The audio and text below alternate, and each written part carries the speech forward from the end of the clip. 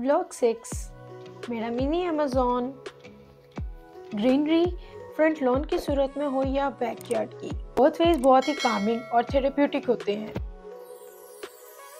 आज ही आपको हमारे घर के बैकयार्ड लेके चलती हूँ। जैसे कि मैंने आपको प्रीवियस व्लॉग में बताया था कि आजकल हम अपने बैकयार्ड को ओवरग्रो होने दे रहे हैं कि विंटर से पहले ये फुल एंजॉय कर ले। नेक्स्ट सिक्स मंथ इसने क्लीन शेविन ही रहना है, क्योंकि वेदर बहुत हार्श होगा। प्रोबेबली ये आज इस जंगल नुमा हरियाली का लास्ट डे है।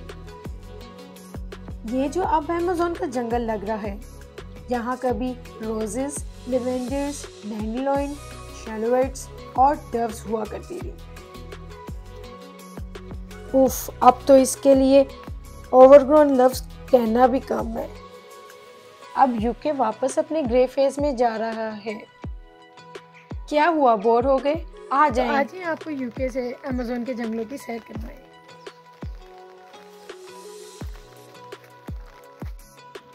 तो इस अमेजोन के जंगल में सिर्फ़ स्नेल्स कीड़े और कुछ परिंदे रहते हैं।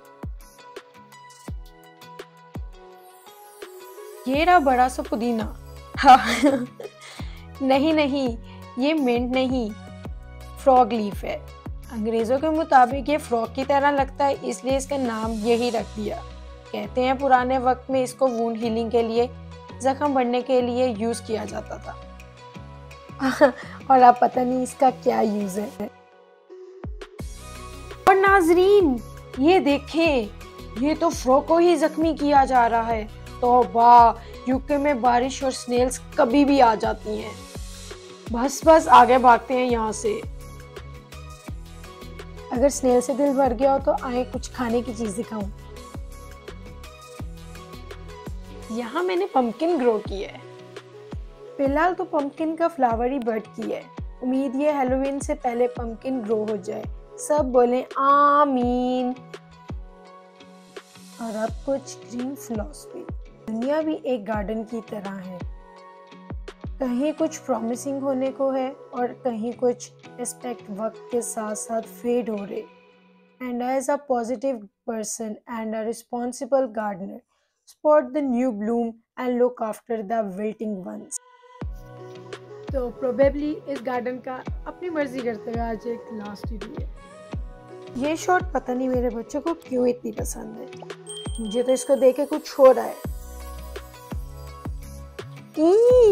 इकरा तो पक्का चली। आप ही जल्दी से लाइक और सब्सक्राइब करें और भागें।